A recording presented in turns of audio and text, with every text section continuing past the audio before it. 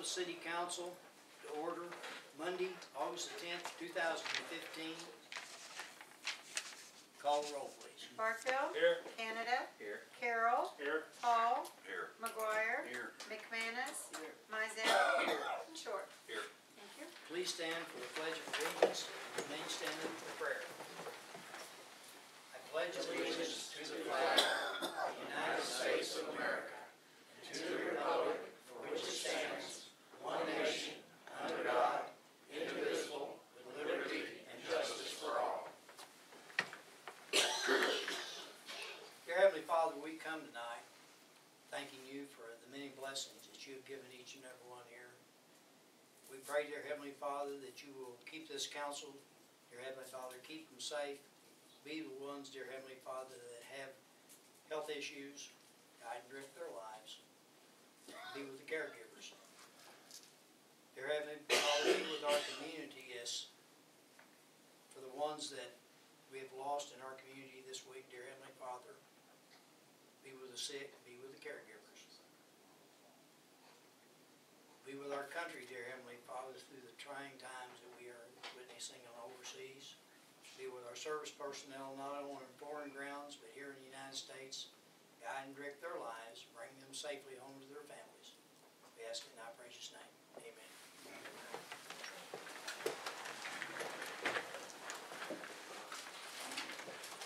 Need a motion to approve the minutes of the 7 27 15 meeting.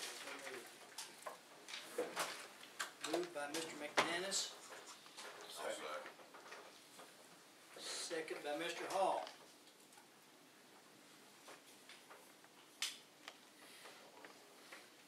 Call the roll, please. Barfield. Yes. Canada. Yes. Carroll. Yes. Hall. Yes. McGuire. Yay. McManus.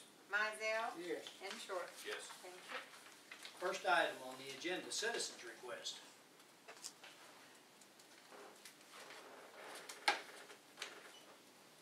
Hearing none, we'll move on.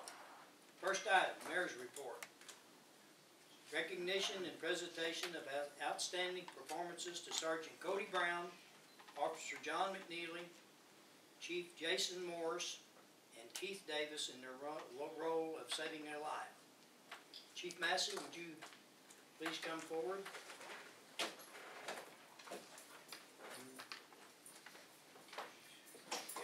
Gentlemen, would you please come forward? Jason, Keith, John, There was a cash bonus, but I kept it.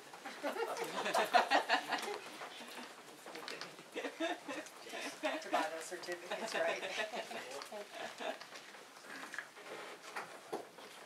For those that don't know, on July fourteenth, we received a nine-one-one call of a person on the floor in a residence over in Woodhaven that wasn't breathing and he was turning blue. Officer McNeely was the first officer on the scene. He beat the ambulance and the first responders there also. He met with uh, the wife who was pretty frantic, saying that her husband possibly had a heart attack. He wasn't breathing, he was turning blue. Officer McNeely access, um, checked out the situation, saw the fact that he wasn't breathing, and started CPR. Shortly thereafter, Sergeant Brown arrived and started assisting with the chest compressions. Uh, Keith Davis and uh, Chief Morris then arrived. Chief Morris brought in the AED. Keith Davis was using the, the airbag to uh, give him breaths and fill his lungs up with air. Paramedics finally arrived, fell asleep. No, I'm just kidding. Paramedics arrived and treated the, uh, and decided to transport him and took him to the hospital, but he already had started breathing. And he's alive, he's alive today because of their efforts. There's no doubt about it that if, if, uh, Officer McNeely or Sergeant, uh, Brown just stuck around and stood around and waited for the paramedics to come and do their job, um, this gentleman wouldn't be with us today, so. They did an outstanding job, all four of them, and I think they deserve to be recognized by, uh, by you all. Appreciate it, thank you. So the first certificate, signed by the mayor, is to Keith Davis, our Director of Emergency Management, for outstanding performance in the saving of a human life and the display of conspicuous initiative, capability, and attention to detail thereby earning respect and admiration for himself and the department. Very good.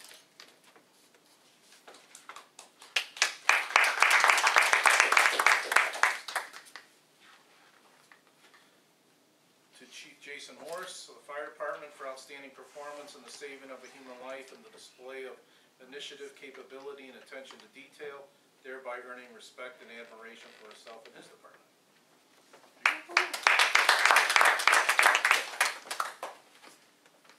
Officer McNeely for outstanding police performance in the saving of a human life and the display of conspicuous initiative, capability, and attention to detail, thereby earning respect and admiration for himself and the Metropolis Police Department. And Sergeant Cody Brown, for the same reasons, outstanding police performance and the saving of a human life. Good Good job. job. I think they wanted, does any of your family wanna get a picture or anything? Yeah, bring him up here. Y'all want a picture? You want a picture with him? No, with you. Come get them with it. Pretend you still like him. Yeah. Wow, just, just trying. Despite all the photos. All right, one, two, three. One more, one, two, three. Right. Good job, guys.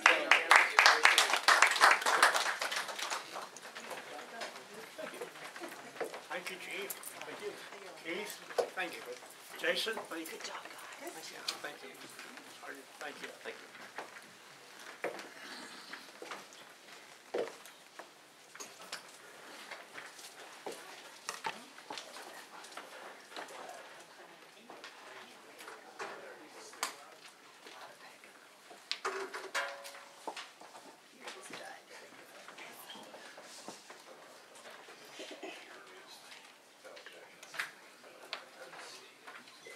Thank you all.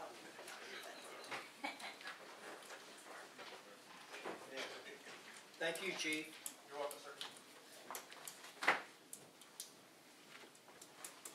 Next item, motion to adopt resolution for Lions Club Annual Labor Day Parade on Monday, September the seventh, two thousand and fifteen. Moved by Mr. Carroll, I'll second. second by Mr. Hall.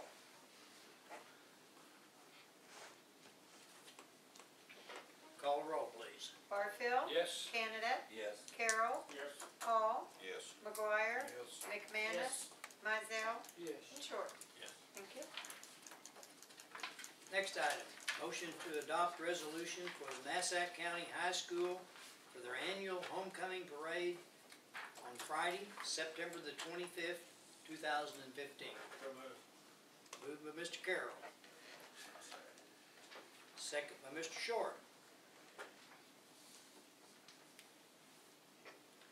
Call the roll, please. Barfield. Yes. Canada. Yes. Carroll. Yes. Hall. Yes. McGuire. Yes. McManus.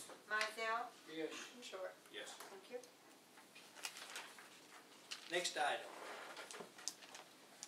Motion to accept the purchase of seventy-five ton of salt from River Ag in the amount of seventy dollars per ton for fall pickup.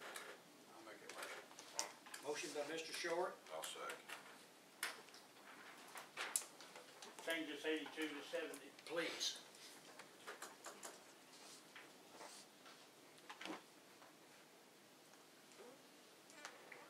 Did choose to get that locally this, this time for your, uh, uh, just to let you know.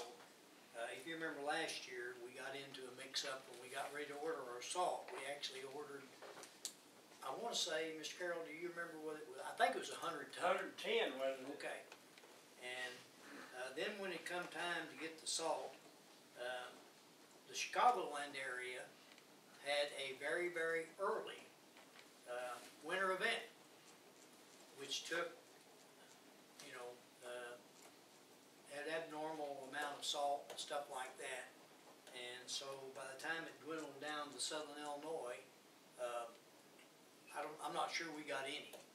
Uh, But, uh, we actually through, uh, Cotter Ready Mix and some at uh, River Ag, we actually managed to get fifty ton that would get us through, uh, the winter. And I think we, uh, actually ended up getting twenty-five more ton. But this year they had, uh, some of that salt left over and they said that they would come down to seventy dollars a ton. I feel like we need to buy that from them, so, uh, that is a motion and, and we need a roll call. Barfield. Yes. Canada. Yes. Carroll. Yes. Hall. Yes. McGuire. Yes. McManus. Yes. Mizell. Yes. And Short. Yes. Next item. Motion to purchase two lots with the addresses of fourteen oh nine and fourteen oh nine and a half. And fourteen thirteen Gerard from Brad Burklow for the sum of ten thousand dollars contingent upon Mr. Burklow's removal of the tenants and mobile homes. The city shall obtain good and merciful titles clear of all liens, shall pay the usual and customary closing costs paid by purchasers. So moved. Second. Moved by Mr. Carroll. And second by Mr. Barfield. Mayor, would you, would you, uh, discuss, uh, what to, what we're gonna do with those lots? We're actually, for, for several years, for the ones that have not been here, uh, and the newly elected, for many years, as you know, we have two small T-ball fields, uh, right across from that property. This property at one time, uh, was part of, uh, John Steele Trailer Park. One time it had six mobile homes on it. Now it sits with, uh, three concrete slabs and three mobile homes. But it's actually, it's out of compliance with our, with our zoning the way it is now. Uh, Plus, there is a great need for, for the ones of you that had, have children or have grandchildren or nieces or nephews that play T-ball. You know, there's eighteen kids on two T-ball fields. And there's three hundred and eighty people that come to watch you play. Uh, Mom, dad, grandma, grandpa, aunts and uncles, and we, have- we just have a real problem, uh, down there with parking. And one of these mobile homes actually sits, you know, through the years, how things, it actually sits on the city right of way. So it's very close to the street. It's always been a little bit of a issue. Mr. Burklow is at the age where he no longer wants to, uh, uh, maintain the properties and so he's agreed to sell it to us and we will, after it's removed, we'll turn it into a public parking lot for the, uh, sports programs down there. So Do we know who owns that other property yet? I did, I, I found out through the court system at the courthouse and I have written a letter asking him, uh, to contact me. Yes, we, we For think, people, ones that don't understand, this is actually on the corner of Fifteenth and Gerard. yes, That corner right in there, which will benefit those ball fields and alleviate that, uh, problem on parking. We've had emergencies there when the ambulance couldn't get through because the streets was blocked. We put up signs, but it didn't do much good. Maybe this will help us. well, it's very bad during, as you, as you know, uh, there's usually four ball games an evening there. So you have two like at five thirty, then you have two at six thirty. And as you, as you leave one and start another one, there, it's, it's quite hectic down there, so this will be a, a great thing for the, uh, sports programs and the kids for safety issues and stuff like that. We do have a motion, uh, we do have a second. Any other comments? Mr. Mizell, did- was that adequate? Yes. Uh, please call the roll.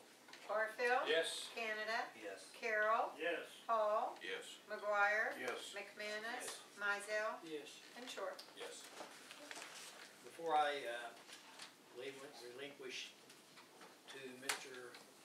Abel, uh, the Labor Day Parade, we, we always do have a, uh, a, uh, float type s- that we actually pull the, uh, Labor Day Parade. Anybody, on the city council or anything like that that chooses to ride on it, uh, I will remind you, uh, you're more than welcome to ride.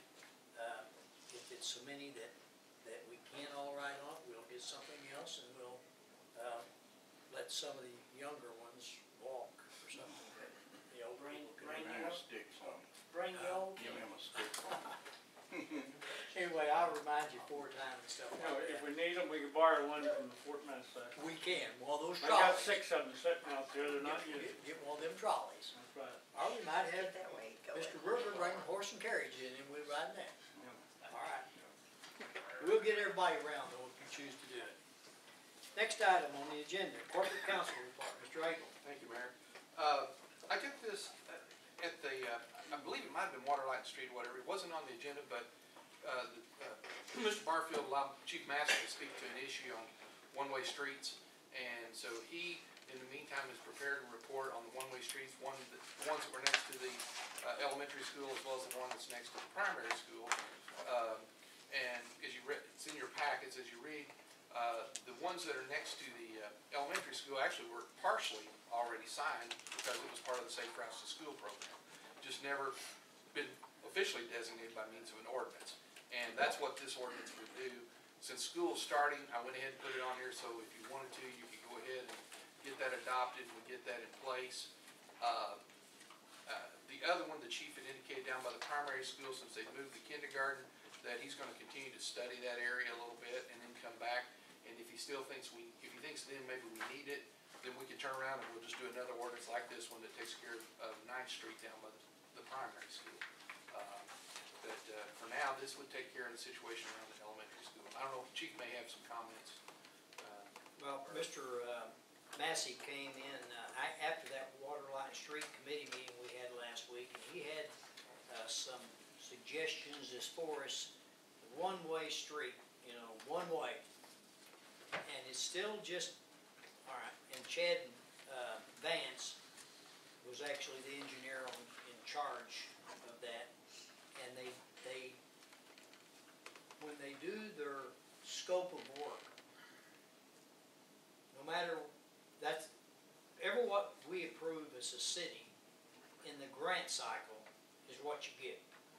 Even after the fact, and they go in and the signs have been set, or the curbs have been laid, or the ditches have been done, there's no going back and changing. What you get is what you get. If it's wrong, you just get to change it. So Chief Massey had some concerns about just the one-way sign. So he actually uh, made up some diagrams and stuff like that, and we have that other signage ordered that says, with an arrow, no right turn, or no left turn, or whatever, uh, to help migrate that traffic through there until people get used to it.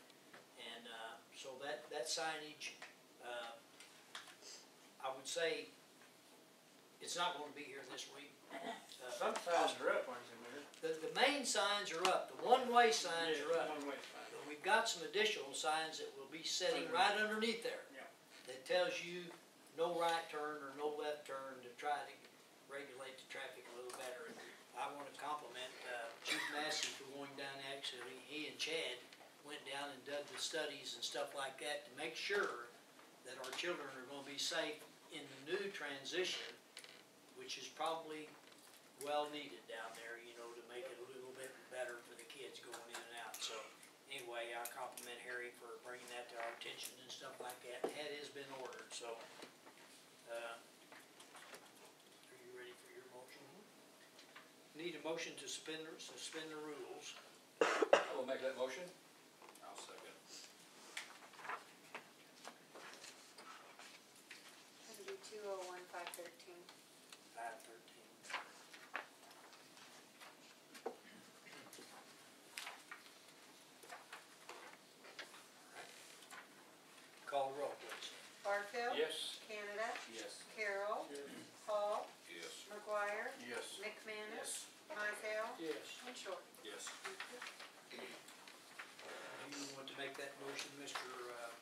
Barfield Yes, suspend. Suspend the rules on same motion, Mr. Barfield has a motion, I'll second. a second by Mr. Carroll.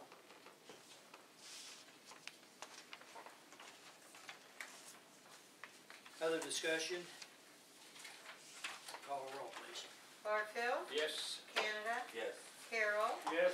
Paul, Yes. McGuire, Yes. McManus, Mizell, Yes. and Short. Yes. Thank you.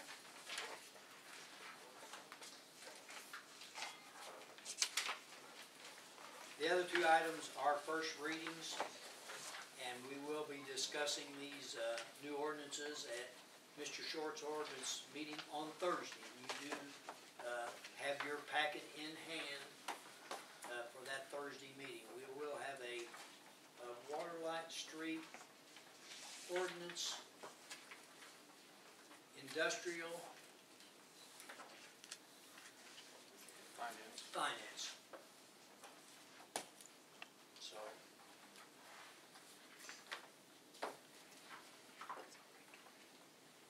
Anything else on, uh, finance that you can think of, Mr. President? No, sir, I can't think of anything. Planning and zoning. It's a motion to, oh, we are having that motion. I'm sorry. Excuse me. Okay, we do have a motion by Mr. Barfield. We do need a second for that, or did we get one on the floor? Mr. Carroll? What's the motion? To suspend the rules and place an ordinance to adopt 215, 216 appropriation ordinance for the finance committee.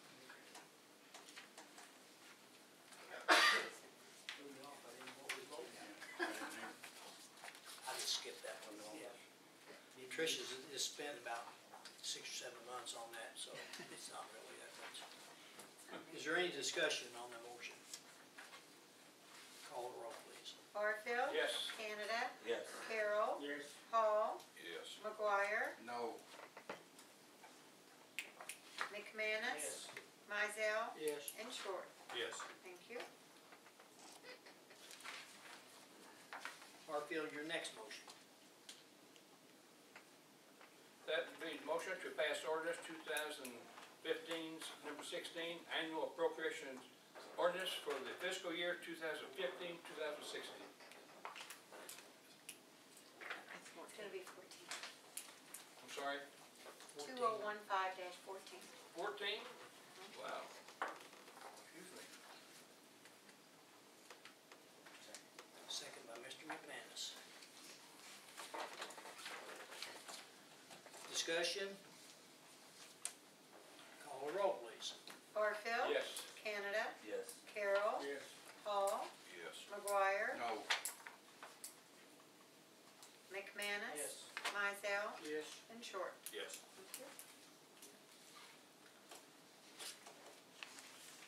Next item, planning and zoning department. Planning and zoning department received an application to uh, rezone the property in Metropolis at eight twenty-five East Twelfth Street. Uh, The interested applicants were wanting to move back to Metropolis, they want to rezone the property with hopes of running a commercial kennel and also living at the facility itself. It's uh, property that was annexed into the city a few years ago and has been single-family residential. Uh, It adjoins other C2 commercial properties over there. Um, So we held a uh, review at the next regularly scheduled planning advisory report from that review is in your packets. Uh, We made a motion at that uh, review meeting to hold a public hearing on August 4th. We held a public hearing and uh, with positive feedback, we made a motion that night to send the council a full recommendation to uh, rezone the property from R1A residential to C2 central business commercial. We're looking for a motion to suspend the rules and place an ordinance amending zoning district boundaries upon its passage for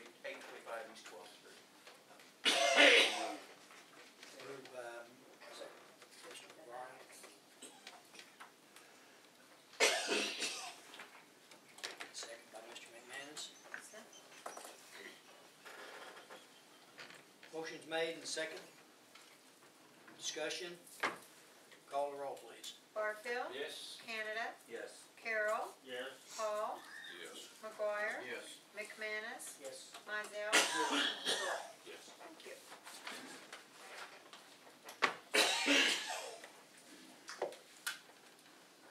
Need a motion to suspend the rules, adopt the ordinance.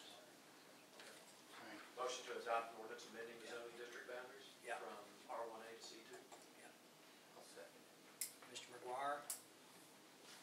Second by Mr. Canada.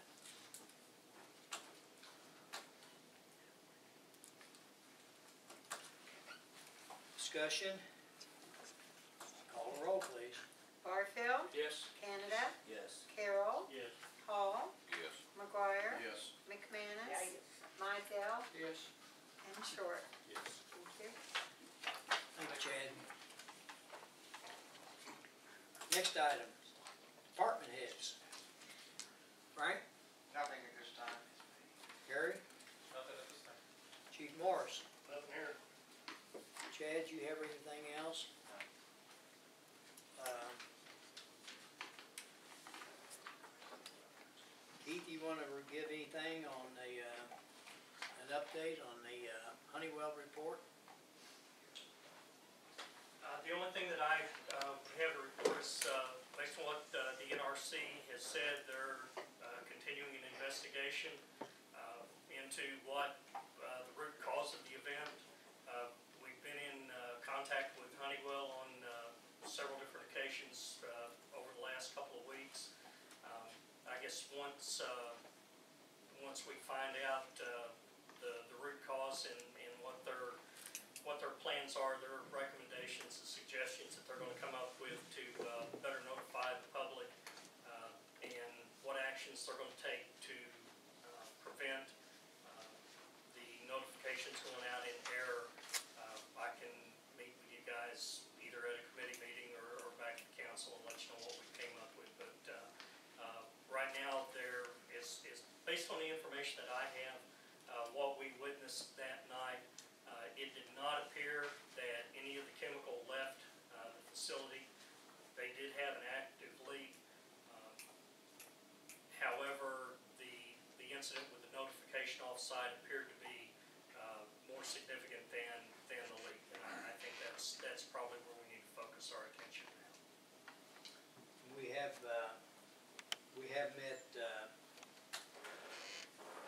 at, a- at Honeywell, we had a meeting last Monday, Yeah, Monday, Tuesday, I know. Monday, Tuesday. Uh, we actually went to the plant and met with, uh, NRC and IEMA and FEMA and, uh, the state. And then I actually got another phone call, well, I know- had another meeting the next morning with, uh, the new director in our area for NRC. I had a call today from NRC and to, uh, find out about, uh, public meetings and things of that nature. When the paperwork is all done, uh, they're gone now, they're going back to Atlanta. Uh, they will be back, not this week, but probably next week. And then probably, uh, I would not doubt that it's sometime in September that we'll actually set up, uh, not, we won't, they will ask to set up a public meeting, uh, probably at the Metropolis Community Center, uh, to inform the public and have public comment and things of that nature. So, you know, everything is, uh, right where it needs to be. My two cents worth is, I think anytime they have a leak that's soldering out there by the plant, ought to go off. I'd rather err on the side of safety, because you can call them if they're out in the yard or whatever, they're not going in there the phone. Well, the worst part, well, and we have had those discussions. Uh, But that will be left up to uh, NRC. It'll be the, the big hammer that tells them what they have to do and what they don't have to do. The the only bad thing that I've seen, and I did voice my opinion, uh, if you could believe that, uh, that uh, even if you get a phone call, there's no way to go back and redo that phone call. If it's a, if it's true, it's a good thing. If it's not, then you're on edge a little bit. Well, I don't know what to do. I don't know whether to do this or do that or whatever. And there's no return phone call.